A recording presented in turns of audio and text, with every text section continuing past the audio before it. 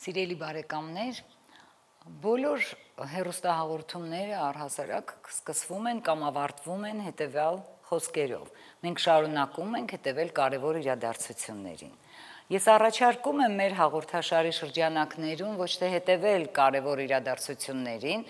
այլ կարևորել այն գաղափարները, մտքերը, գործերը, որոնք մեր կյանքը դարձնում են ավելի լավ կամ նրանց բացակայությունը մեր կյանքը փոխում է դեպի վատը։ Անշուշտ մեր հաղորդաշարում նաև դուք կտեսնեք մարդկանց կերպարներ իրենց գործերով, ում անմնացորդ նվիրումի շնորհիվ այսօր Հայաստանը ապրում է, առաջընթաց է ապրում եւ նաև նույնիսկ երազում է։ Նպատակը մեկն է, ուզում եմ, որ ամեն մեկը մեզանից յուրաքանչյուրը գիտակցի ու հասկանա, որ մեր երկրի այսօրը, վաղը, ապագան, մեր երեխաների, զավակների ապագան ամեն մեկից կախված է։ Իսկապես մենք կարիք ունենք ամեն մեկից դրական աշխատանքի, լավատեսության եւ այդ նույն անմնացորդ նվիրումի։ Վստահ եմ, որ այս հաղորդաշարը նաև կավելացնի մեր հավատը ապագայի հանդեպ, հույսը, հավատը մեր սեփական ուժերի հանդեպ եւ կարծում եմ, որ վերջի վերջո մենք կկարողանանք ասել ոչ միայն ես եմ Տերը մեր երկրի, այլ Հայաստանի Տերը կիրթ, կրթված, մարմնով եւ հոգով առողջ, հայրենասեր, իր իրավունքները ճանաչող եւ պարտականությունները իմացող քաղաքացին է եւ այս ամենի հետ մեկտեղ ուզում եմ ընդգծել, որ կան մեր բոլորի կյանքում գիտակցության մեջ առհասարակ բացարձակ արժեքներ։ Եկեք սկսենք մեր առաջին հաղորդումը մեր բացարձակ արժեքներից մեկից, մեր լեզվից, հայոց լեզվից։ Այստեղ այսօր մեր հյուրն է պրոֆեսոր Դավիթ Գյուրջինյանը։ Երկար պետք չի ձեզ ներկայացնել, պրոֆեսոր, Միայն կասեմ, որ նա թերևս այսօր Հայաստանում ամենապատասխանատու անձն է հենց հայոց լեզվի համար, քանի որ ղեկավարում է Հայաստանի Հանրապետության լեզվի տեսչությունը։ Հայ լեզվաբան հայերենագետ խմբագիր Կրթության, գիտության, մշակույթի նախարարության լեզվի կոմիտեի նախագահ Դավիթ Գյուրջինյանը ծնվել է 1962 թվականին Երևանում ուսուցչի ընտանիքում։ Երևանի Խաչատուր Աբովյանի անվան հայկական պետական մանկավարժական ինստիտուտն ավարտելուց հետո ծառայել է խորհրդային բանակում։ Աշխատել է հայկական պետական մանկավարժական ինստիտուտում, այնուհետև Սուրբ Էջմիածնի Գևորգյան հոգևոր ճեմարանում, Բյուդիսովի անվան պետական համալսարանում։ 1993 թվականին Հայաստան համահայկական հիմնադրամի հայտարարած երիտասարդ գիտնականներ մրցույթի հաղթող է ճանաչվել հայոց լեզվի բառակազմական իմաստաբանությանը նվիրված ուսումնասիրությունների համար։ Դավիթ Գյուրջինյանը 100-ից ավելի գիտական եւ ուսումնամեթոդական աշխատանքների հեղինակ է։ Ամուսնացած է, ունի երկու դուստր եւ 3 թոռ։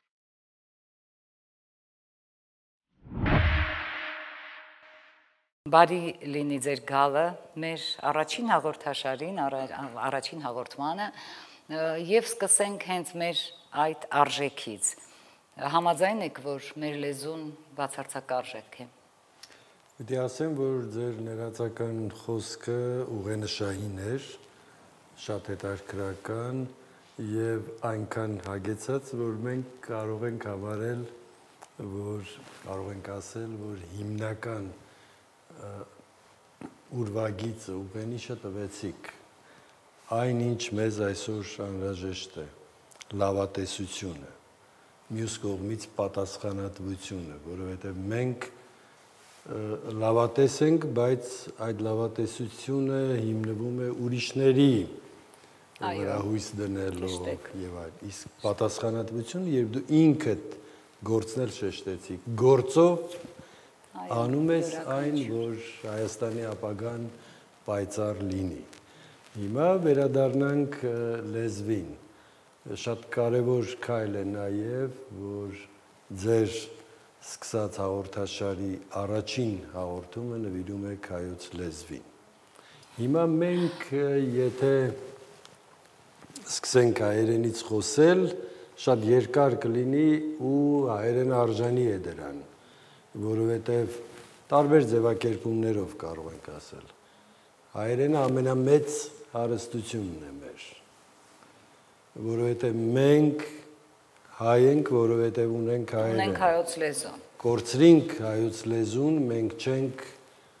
լինի իբրև Ոչինչ, կդառնանք ոչինչ, Հա, ուրիշները կլինեն։ Իհարկե։ Տեսակը կարող է, ասենք, ֆիզիկա, ֆիզիոլոգիական եւ այլն պահպանվի, բայց հոգին եւ ոգին հայերենի Մեր միջոցով էությունը է։ չի լինի, իհարկե։ Միշտ հիշում եմ Իսակ Մեծարենցի խոսքերը, որ մուրացիկի հետ է համեմատում այն մարդուն, ով օտար լեզուն է օգտագործում, մուրացկանի վիճակում է, եւ փաստորեն մենք տեսնում ենք դա ամենուրեք այլ լեզուների հետ կապված աշխարհում այդ 7000-ից ավել լեզու կա եւ վերջերս եմ իմացել, որ ամսական փաստորեն երկու լեզու մեռնում է աշխարհում։ Այո, դժբախտաբար այդպես է, լեզվաբանական կայքերը հետևում են այդ գործընթացին եւ այո, ասում են, որ ասենք մեռնում է այդ լեզվով խոսող Այո։ հանրության վերջին ներկայացուցիչը կամ դժբախտաբար այդ լեզվով քիչ խոսողների երիտասարդները սկսում են հաղորդակցվել այլ ուրիշ լեզուներով։ լեզվով։ Իսկ պրոֆեսոր, ինչ եք կարծում, եթե մենք խնամքով գրագետ չենք վարվում մեր լեզվի հետ, ինչ որ տեղ չենք կորցնում այն։ Մենք կորցնում ենք ամեն քայլի դեպքում, երբ վնաս ենք հասցնում հայերենի այդ ամրակառույց շինությանը։ Մի քար կարծես հանում ես հիմքերից։ Շատ լավ, չեք կարծում, որ ժամանակն է եկել Խաչատուր Աբովյանի նման քայլ անել, եթե չեմ սխալվում, մոտ 150 տարի առաջ երևի ավել, այդ սխրանքը գործեց Աբովյանը եւ խոսակցական եւ գրական լեզուների այդ անջրպետը ինչ որտեղ վերացավ եւ մենք այսօր փաստորեն ունենք նորմալ կներեք ճակերտավոր գրական լեզու, որով կարող ենք խոսել, շփվել, սակայն կյանքը էլի իր փոփոխությունները բերում է եւ մարդիկ երևի ստիպված են խոսել այնպես ինչպես խոսում են եւ չհետևել ամբողջությամբ գրական հայերենին գուցե կարելի է ինչ որ այստեղ ուղումներ, շտկումներ անել, որ ավելի հեշտ լինի ձեզ չքննադատել մարդկանց, չուղղել սխալները, իսկ մարդիկ ավելի ազատ լինեն իրենց նորմալ Սա տարողունակ հարց է։ Ասում են, որ լեզվի գոյության բարձրագույն ձևը գրական լեզուն է։ Եվ կան ուրիշ դրսևորումներ են, խոսակցական, ժողովրդական, շատ կարևոր բարբար, տարատեսակ բարբարներ, դրանք լեզվի հարստությունն են։ Բայց ամեն ժամանակաշրջան ունենում է այսպիսի խզում գրական լեզուն այդ բարձր արժեքը այսպեսին է եւ շատ տարբեր կամ քիչ տարբեր նրանից խոսակցական դրսևորումները եւ ամեն ժամանակաշրջանում եղել են մարդիկ, որոնք հիմա էլ կան այդպիսի մարդիկ, որոնք փորձում են Աբովյանի դերը ստանձնել Բայց Աբովյանը միակն է։ բայց դա շատ զգույշ պիտի արվի որովհետեւ եւ երբ մենք թողնենք Հա, իհարկե։ ամենաթողություն կլինի։ Կանոնը զսպում է այդ ամենաթողության դրսևորումները, մեկ էլ որ ոմանք փողոցի լեզուն են բերում Բերում գրականություն, գրական լեզվի։ նրա տարրերը կարող են լինել եւ գրականության Իհարկե, մեջ եւ կինոյում, Իհարկե, այո, միշտ եղել է։ Ոմանց թվում է թե առաջ չի եղել։ Չէ։ Միշտ եղել է։ Ոմանց թվում է, որովհետև չեն կարդում։ Դասական գրականություն չեն կարդում, չգիտեն, որ եղել է։ ժողովրդի մարդը նրա բերանում պիտի կենթանի հայերենը Իհարկե, լինի։ խոսք լինի։ Եթե այդ մարդը քրեական աշխարհի ներկայացուցիչ է, այդ լեզվի տարրերը Եթե գրողը կերպար է ստեղծում եւ պիտի քրեական դեմք ցույց տա, իհարկե պիտի օգտագործի։ լեզուն կենթանի է, երբ ունի այդ բոլոր դրսևորումները։ Դրսևորումները։ Մեկը ինձ ասում է երիտասարդները այսպես են ասում, այնպես են ասում, շեղվում են, բարեր են հորինում, ասում եմ դա լավ է։ Նշանակում է հայերենը կենսունակ է։ Այո։ Հայերենը երիտասարդության լեզու է, երեխաների լեզու է եւ այդպես Իրենք իրենց բարերն են ստեղծում, բնականաբար։ բառակապակցություններն են ստեղծում։ Երանի այդպես լինի, ասենք գրական արևմտահայերենում նույնպես կամ արևմտահայերենում նույնպես, որտեղ այդպես է սերնդից սերունդ փոխանցվում։ Ամեն անգամ էլ էլի գրականությունից հիշում ենք հայրերի եւ որդիների Պայքարը, կան նաեւ լեզվական ոլորտում։ Մեծերը չեն սիրում երիտասարդների Հա, ինչ խոսք, ես էլ եմ շատ երբեմն շատ բացասական վերաբերվում, մանավանդ որ փոքրիկները փողոցում փոխանակ ասեն պարոն տիկին օտար մարդկանց, ասում են հորքուր, մորքուր այս բառերով։ Որքուր մորքուրը հայերեն է, ընդունենք, բայց այդ ճոճա ջաջան լավ, չէ։ Հետո մանավանդ որ դրանց այլ ձևերն էլ կան, բայց ոչինչ, ես կարծում եմ, որ ամեն դպրոց, ամեն ընտանիք կարող է դրա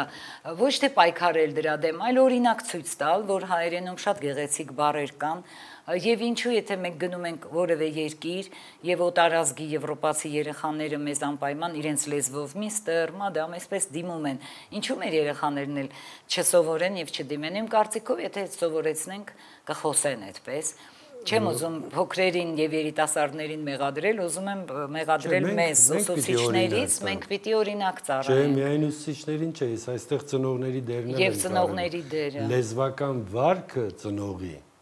ամենալավ ուսուցիչն է։ այո։ Երեխան կարող է զբաղված լինել այս բաժակով, բայց նա լսում է, թե ինչ են խոսում Դուք դասախոսելով երևի հաճախ եք նկատում, որ շատ հերավոր գյուղերից, նույնիսկ սահմանամերձ շրջաններից գալիս են ուսանողներ, ովքեր շատ գեղեցիկ հայերեն են խոսում եւ որևէ բարբարային իրենց տեղի բարբարը նույնիսկ չեն օգտագործում։ Ես միշտ հարցնում եմ, ծնողները ինչ են անում, ինչով են զբաղված գյուղում, ասում են ուսուցիչ են, կամ ուսուցիչներ են, կամ ուսուցիչուհի է մայրը, հասկանում եմ, որ մոր ուսուցչուհու օրինակը Այստեղ կարևոր հարցի է անդրադառնում կրթական համակարգը իր բոլոր դրսևորումներով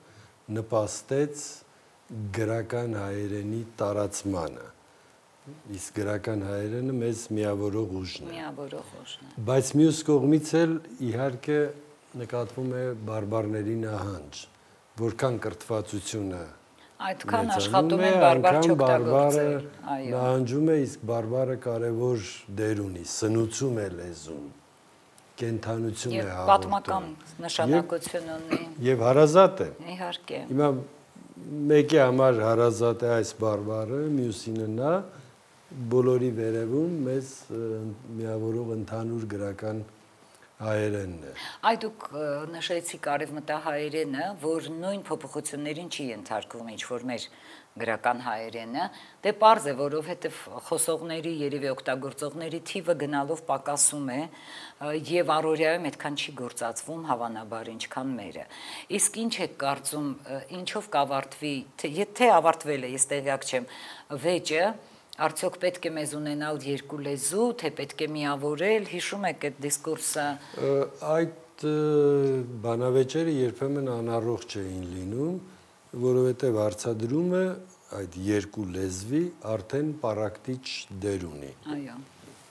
Մեզ միավորողը կրկնում եմ, դա երբեք չպետք է մոռանանք, հայերենն է, որը ունի երկու գրական դրսևորում։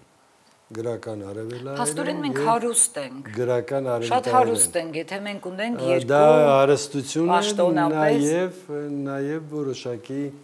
դժվարություններ հարուցում է այության երկու հատվածների։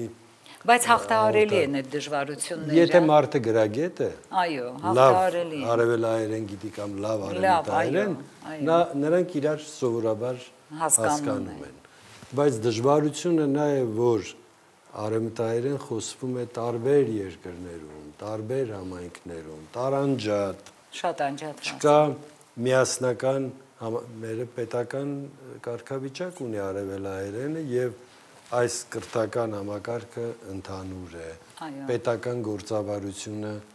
Դե ամենուրեք հայերեն է պետության լեզու է։ Պետության լեզու է դժբախտաբար արեմտայերենը որ այդքան հայերենի այդքան ճոխ դրսևորումն է եւ ճկուն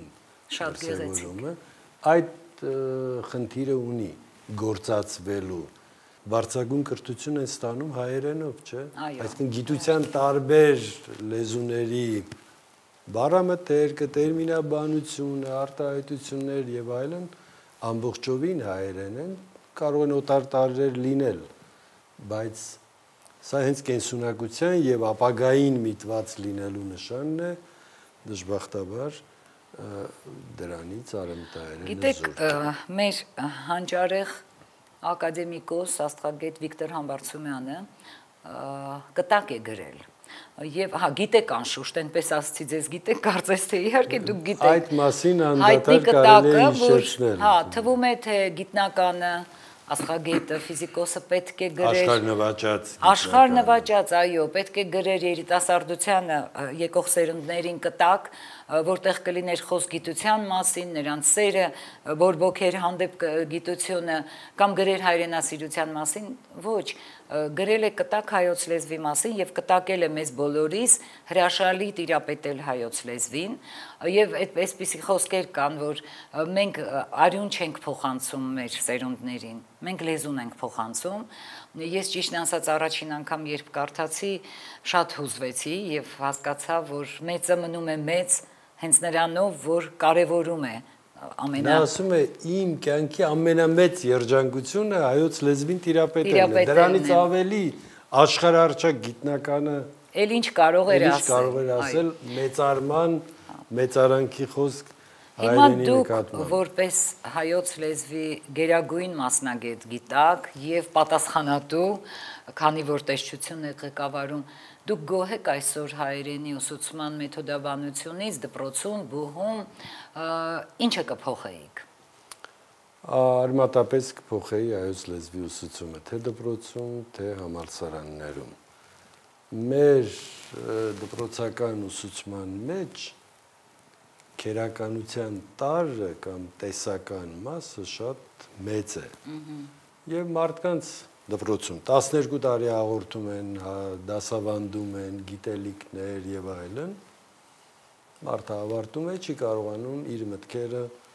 մտքերը արտահայտել համալսարանում եւս 2 տարի համալսարաններում մեծ դժբախտություն է դպրոցում այդ վիճակը այդքան տխուր չէ որքան համալսարաններում ինչ են սովորեցնում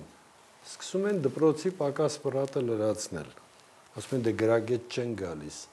բայց համալսարանը բարձրագույն կրթությունն է։ Ինչպես կարելի է նորից դպրոցական ծրագրին անդրադառնալ։ Սովորաբար ասում են ԲՊՓ-ի ուղղագրությունը։ Դա ոչ միայն ռեսուրսների վատնում է, չէ, իզուր վատնում ենք այդ ամբողջ պոտենցիալը։ Եվ վանում են սովորողին, եւ նա ասում է, ինչ է, 12 տարի հայոց լեզու, հիմա եկել եմ ենթադրենք մաթեմատիկայի ֆակուլտետ կամ կենսաբանության, եւ նորից պիտի հայոց լեզու։ Մեղավոր չի դասախոսը, որ տեսնում է, չգիտի, սկսում է տալ, մեղավոր չի ուսուցիչը, որ անում է այն ծրագիրը, որը իրեն պարտադրում են, բայց չէ որ մենք բոլորս կենթանի վկաներ ենք դրա, որ վատ ենք անում։ Դուք ինչպես եք տեսնում այս լուծումը։ Միթե չկա, կարծում եմ, որ պիտի լինի։ Լուծման օրինակներ տվել եմ իմ գրած համայղինակությամբ գրած դասագրքերում տարական դպրոցի համար, միջին դասարանների համար, Գևորգյան ճեմարանի համար գրված Բրյուսովի անվան համալսարանի համար այդտեղ ցույց եմ տալիս գործնականում տալիս եմ իմ իմ պատկերացրած հա։ օտար բառ ասեմ մոդելը ձևը բայց մյուսը ուսուցչի գործոնն է իհարկե ուսուցչին լավ դասագիրքել տաս եթե նա վատն է նա կփչացնի գործը իսկ առանց դասագիրքի վարպետ ուսուցիչը իր դասը կարող է անել, այսինքն սա մեծ շփթ է։ Փաստորեն, եթե մենք ուսուցիչներին եւ դասախոսներին համապատասխան ձևով վերապատրաստենք, այս խնդիրը կարելի է լուծված համարել։ Գուցե սկսենք սովորեցնելով, ասենք մանկավարժական բուհում Ես հասկացա տարապանքը որքան փորձ ունի։ Եթե դուք վերապատրաստել բառը փոխեցիք վերապատրաստել սովորեցնել հասկանալի։ Այդ արդյունավետությունը ունի, գոնե մենք դա տեսնում ենք։ Իսկ այսօր բանասիրության ֆակուլտետը ավարտող մարդիկ, ովքեր գնալու են վաղը դպրոցներ, արդեն դուք կարողանում եք իրենց մոտ լուծել այդ խնդիրը, կարելի ենթադրել, որ 5-10 տարի հետո շնորհիվ այն մանկավարժների, ովքեր նոր են կրթվում, մենք կունենանք արդեն գոնե դպրոցում ճիշտ հայերենի ուսումնասիրության կամ սովորելու ձև։ Ինչ եք կարծում։ Ես լավատես եմ առհասարակ իմ բնույթով, բայց այս հարցում այնքան էլ չէ, որովհետև մի քանի տարի առաջ եղել եմ մանկավարժականի բանասիրականում պետական հանձնաժողովի նախագահ նախագահ եւ տեսել եմ բաներ, որոնք մեղմ ասած զարմացնում ու ապշեցնում են։ 4 տարի սովորել է եւ այս վիճակն է։ Դե մեծ մասը այդ ժամանակ անբավարար ստացավ բայց հաջորդող տարիներին նրանք դրական ստացան եւ հիմա գուցե դպրոցում են։ Երանի դպրոցում չլինեն այդ կարգի մասնագետները։ Բայց փայլունները միշտ կան։ Հա, իհարկե կան, Միշտ կան, հանկարծ կան։ չլինի, որ բոլորին անուն են կպցնում եւ այլն։ Միշտ եղել են, Իհարկե, կլինեն։ բայց երևի շատ քիչ են դեռ այն մակարդակի դասավանդողները, թե ուսուցիչներ, թե դասախոսներ, որ կարող են որակական ինչ-որ բան կազմել եւ կարող են տալ այդ որակը նոր ուսուցման, այսինքն ճիշտ ուսուցման, որ մարդը իսկապես հայերենին սովորի, լեզու սովորի, եւ խոսել իմանա, եւ գրել իմանա, եւ նորմալ կարդա։ Ա, Իդեպ ես կարծում եմ, որ առաջին նշանակությունը մեր հայոց լեզվի եւ գրականության մասնագետների այն է, որ պիտի սովորեցնեն սիրել հայերեն լեզվով կարդալ երեխաներին թող ինտերնետում կարդան բազմաթիվ գրքեր կան գրականություն կա նշանակություն չունի։ հա ես անձնական փորձից գիտեմ որ երեխայի որը չի սիրում կարդալ ընդհանրապես երբ որ ասցի որ նույն համբյուտերի կամ պլանշետի կամ հեռախոսի մեջ դու կարող ես կարդալ այլ բաներ ինքը սկսեց սիրել դա եւ հիմա կարդում է այնպես որ եթե իրենք սիրում են շատ լինել համակարգչի մոտ կամ հեռախոսով զբաղվել թող կարդան այդ ժամանակը նաեւ օգտագործեն հայերեն Այո, կարդալու վրա իհարկե պիտի ուղղորդել, թե ինչ կարդա։ Կարծում եմ ի սկզբանե parzեր մեզ համար գոնե թե ինչ է մեզ համար հայոց լեզուն եւ գիտենք շատ շատերի համար ինչ է եկեք տեսնենք մեր հայրենակիցները ինչ են մտածում մեր լեզվի մասին ինչպես ենք մենք խոսում այդ մասին Հայերենը ձեզ համար ինչ նշանակություն ունի։ Հայրենը ինձ թվում է դա մեր հայոց լեզուն է, որը որ պետք է շատ մաքուր եւ անաղարտ պահենք։ Չնայած հիմա այս պահին տեսնում եք ընդհանուր մեր վիճակից ելնելով աղավաղված է մեր լեզուն եւ ես շատ կուզեի որպես Հայաստանի քաղաքացի մեր երկրում ավելի շատ զարգանար հայերենը դա իմ ինքնության պահպանման, անձի ձևավորման կարևորագույն աղբյուրն է, որովհետև դա իմ մայրենի լեզուն է։ Ինքս գնահատում եմ հայոց լեզվի իմացությունը անկախ մասնագիտությունից եւ կարծում եմ շատ կարեւոր է դպրոցներում հայոց լեզվի նորմալ ուսուցանումը էլի անկախ որևէ մասնագիտությունից Եթե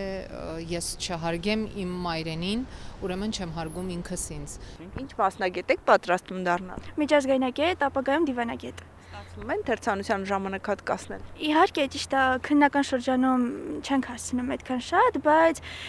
արձակուրդների ժամանակ շատ են կարդում հենց մասնագիտական գրքեր։ այդքան ասում են չեն կարդում, ոնց որ ջանից ավելի ողջևորված ենք հենց սկսում կարդալ on-line թեկուս on-line տարբերակով։ Ինչ եք կարծում, կարդալ ինչքանով է ազդում մարդու գրագետ խոսքի վրա։ Մենք հիմա նենց երկրում ենք ապրում, իսկ հիմա որ կարդալը անհրաժեշտ է։ Իսկ լեզվի խոսելու համար ըստ հիմա գրականություն ուսումնասիրել շատ լավ բան է։ մարդիկ ինչքան շատ են ընթերցում տարբեր գեղարվեստական գրքեր գրքեր իրենց խոսքը ավելի է զարգանում մեծ ազդեցություն ունի ընթերցանությունը զարգացնում է ինտելեկտը բառապաշարը Հերցանությամբ բառապաշարը զարգացնում, ավելի մեծ բառապաշար, հարուստ բառապաշար ես ձեռք բերում, ու դրանով կարողանում ես լավ հաղորդակցվել։ Ձեր կարդացած վերջին գիրքը։ Չեմ կարող հիշել։ Վերջին անգամ կարդացել եմ թքած ունենալու նոր փարվեստը, բայց երկրորդ անգամ դա կարդացել, որտեղ առաջին անգամ կարդացել եմ մի քիչ ուրիշ հասկացել, հիմա հիմա ուրիշ։ Վերջին գիրքը, որ կարդացել եմ, Մարկ Տվենի Մարկ Տվեն եմ կարդացել, Մարտին Էդենը անգլերենով, զոտ անգլերենի բարելավման համար։ ալքիմիկոս երկու օր առաջ սրճարանը աշխարհի եզրին Վերջին գիրքը երևի մի շաբաթ առաջ մասնագիտական գրականությունից Օտո ֆոն Բիսմարկ գիրքը։ Մասնագիտականից զատ նաև կարդում են գեղարվեստական գրքեր, չգիտեմ, հետազոտական գրքեր, ես ավելի շատ նախընտրում եմ պատմական, տենց։ Մեր լեզուն աստվածների լեզուն է, ինչպես ասում էր Բայրոնը, չի կարելի աղավաղել աստվածների լեզուն։ Պարոն Գյուրջենյան, ես մտածում եմ, որ մի խումբ, փոքր խումբ հարցեր կան, որոնք բաց համասարանի հյուրը պետք է ուզենա պատասխան, եթե չուզեք չեք պատասխանի, բայց կարծում եմ, որ հյուրերը հենց այն մարդիկ են, ովքեր կունենան այդ ցանկությունը պատասխանել եւ այսպես իմ առաջին հարցը ինձ շատ է հետաքրում, ում հետ կուզեիք մեծերից, որոնք այսօր չկան, հանդիպել եւ զրուցել։ Եվ եթե կարելի ինչի մասին կուզեիք զրուցել։ Օ, շատ հետաքրքիր հարց եք տալիս։ Օրինակ Միքայել Նալբանդյանը մտքովս անցավ, նա մի ուրիշ կերպար է, բազմակողմանի։ Շատ, այո։ Նաև լեզվի հարցերով է զբաղվել, տեսական, գործնական։ Նրա հետ խոսելը, զրուցելը, հա, է լսել։ Հիմա կարդում ենք Նալբանդյանին հրապարակախոսությունը եւ այլն, քննադատությունը բայց կենթանի շփումը նաև հետաքրքիր կլիներ լեզվական որակի առումով, որովհետև ուրիշ թրիչք է հայերենի ուրիշ դրսևորում։ Ուրիշ մեծություն է, ճիշտ է։ Ինչպես եք վերաբերվում օտար բարերին, որոնք մենք օգտագործում ենք մեր լեզվում, օրինակ համակարգիչ ասում ենք համբյուտեր, սայթին ասում ենք, կայքին ասում ենք սայթ եւ այլ եւ այլ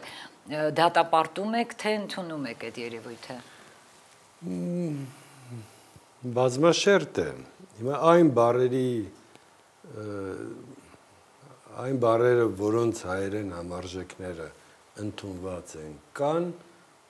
եւ մարդիկ գործածում են օտարը, դրանք ինձ նյարդայնացնում են։ Հասկանալի։ Բայց կայքը կարող է դեր ճանապարհ անցնի մինչև վերջնական հաղթանակը։ Այս հարցում կարելի է սпасել, նպաստել հայերեն համարժեքի տարածմանը եւ այլն։ Բայց երբ ասենք,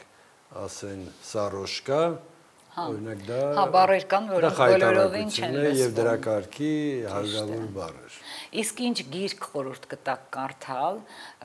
թե երիտասարդներին, թե առհասարակ հայ մարդու համար հայերեն լեզվով, հայ գրողի, որ գիրքն է, որ ձեզ համար շատ կարևոր է եւ դուք խորհուրդ կտակ, որ դա բոլորը կարդան, անխտիր։ Այդպիսի հարց երևի ուսանողները ինձ հաճախ են տվել բայց ես նրանց ցանկեր եմ ասել։ Ցանկերը։ Հիմա եթե մեկ հեղինակ նույնիսկ գիրքել, չէ, ասենք ինձ համար, հա, ձեզ համար անշուշտ։ Հայոց լեզվի այսպես բյուրեղային կատարյալ դրսևորումներից մեկը Վահան Տերյանի քնարերգությունն է։ Հրաշալի։ Եվ նրա մյուս գրածները, ասենք այն հայտնի զեկուցումը, նամակները եւ այլն։ Գիտեք, հիմա մենք զրուցում ենք եւ մեր հերոստադիտողները կարող է զարմանան կամ հարց տան իրենք իրենց, թե այս երկրում ահագին խնդիրներ կան լուծելու, դժվարություններ կան, անկումային տրամադրություններ կան, այս մարդիկ նստել են հերոստա տեսությունում, այդ սրահում եւ խոսում են Վահան Տերյանի քնարերգությունից։ Ես ուզում եմ միանգամից հերքել եւ պատասխանել այդ եթե մտքներով կանցնի ուրեմն առանց պոեզիայի, առանց գրականության, առանց արվեստի, առանց գեղեցիկի առհասարակ եւ առանց մտքի, առանց գաղափարի մենք ոչինչ ենք։ Եվ ամենադժվար պահին էլ պիտի կարողանանք եւ ուզենանք մնալ մարդ։ Եվ ձեր խորհուրդը ես ուզում եմ որ բոլորը լսեն եւ անպայման չկա հայ, որի տանը չկա Վահան Տերյանի գիրքը կամ գրքույկը մի փոքր, չէ, բոլոր հատորներով կա, բոլորը ունեն։ Ուզում եմ իմ կողմից էլ խրախուսել ու կոչ անել, որ կարդացեք ամենադժվար պահին, ամենաանելանելի, ամենատխուր, կարդացեք պոեզիա առհասարակ եւ հատկապես ձեր խորհրդով Վահան Տերյան։ Եվ շատ կուզեի լսել ձեր կարծիքը մեր այսօրվա երիտասարդների մասին ունակ են իրենք իրենց հենց գրագիտության աստիճանով, հենց գրագետ լինելով ստանձնել այդ բարձր պատասխանատվությունը, որը կոչվում է, ասենք, երկրի կառավարում։ Ինչ եք կարծում։ Դուք շփվում եք անընդհատ երիտասարդների հետ։ Մենք լավ երիտասարդություն ունենք։ Ունենք, չէ՞։ Պիտի նրանց գնահատենք, պիտի նրանց համար ճանապարհ բացենք, իրենք իրենց ճանապարհը բացում են։ Իրենք են իրենք բացում, այո։ Մենք պիտի նպաստենք։ Իրենց ճանապարհը։ Որովհետև ի վերջո այդպես հաջորդ ծերունդն է գալիս, որը պիտի տեր կանգնի, իսկապես տեր կանգնի այս երկրին, մեր երկրին։ Մենք պատերազմի ժամանակ էլ տեսանք, թե ինչպես կամավորներ երիտասարդներից, գիտաշխատող, բարող եւ այլն գնացին առաջնագից զոհեր եղան ցավալի նահատակներ բայց դա հենց այդ տիրոջ զգացողությունն էր եւ այդ մղումն էր անկեղծ պաշտպանելու հայրենիքը։ Ես այստեղ ասում եմ, որ նրանք գնացել են պաշտպանելու ոչ միայն մեզ, այլև հազարամյակների մշակույթը, մեր լեզուն եւ հայության ապագան կերտելու նոր կյանքը կերտելու հիմքն են դրել։ Եվ այն, որ ասում եք, այո, մենք այսօր խոսում ենք, մենք խոսում ենք, որ վերականգնվի լավատեսությունը մեզանում։ Այո։ Մենք չենք կարող ճամպրուկները հավաքել ու հեռանալ այստեղից։ Երբեք։ Սա մեր բնօրրանն է։ Այո։ Եվ մենք պարտավոր ենք շենացնել այն։ Ես լավատես եմ այս հարցում եւ այստեղ միայն հայրենիքը պաշտպանելու գործը չէ, այլև գիտության մեջ խորանալու, արհեստների ու արվեստի, բազմաշնոր երիտասարդների գիտեմ եւ դա հույս է տալիս, որ մենք լավ ապագա պիտի ունենանք, Հայաստանը լավ ապագա պիտի ունենա։ Պետք է մտածենք միայն այդպես եւ պետք է շատ խնամքով վերաբերվենք մեր բոլոր նվաճումներին մեր ստեղծված մեր կողմից ստեղծված բոլոր արժեքներին խնամքով գնահատելով արժևորելով եւ գիտեք հույս ունեմ որ մեր այս զրույցների այս հաղորդաշարի ընթացքում մենք նաև կվերարժևորենք որոշ երևույթներ, որոշ գաղափարներ։ Ես ուզում եմ, որ ամեն մեկը հասկանա, որ այսօր այս պահին այնինչ կատարվեց, այդքան կարևոր չի, ինչքան այն, որ արդեն եղել է եւ մեր նվաճումն է, մեր ձեռքբերումն է, մեր տեղն է ցույց տալիս աշխարհում եւ մեր դերն է ընդգծում հայրենիքում եւ աշխարհում։ Եվ շնորհակալ եմ այս զրույցի համար, վստահ եմ, որ ձեր խոսքը ը, հասավ տեղ ոչ միայն մասնագետների համար հա, դարձավ հասանելի པարս, այլև հազարավոր հայ մարդկանց հայրենիքում եւ Սփյուռքում եւ բոլորը կարծում եմ այս պահից ավելի լավատես դարձան եւ ավելի սիրեցին մեր լեզուն եւ զգացին, որ ամեն մեկը պատասխանատու է մեր լեզվի պահպանման զարգացման համար։ Շնորհակալություն։ Շնորհակալ եմ ձեզ։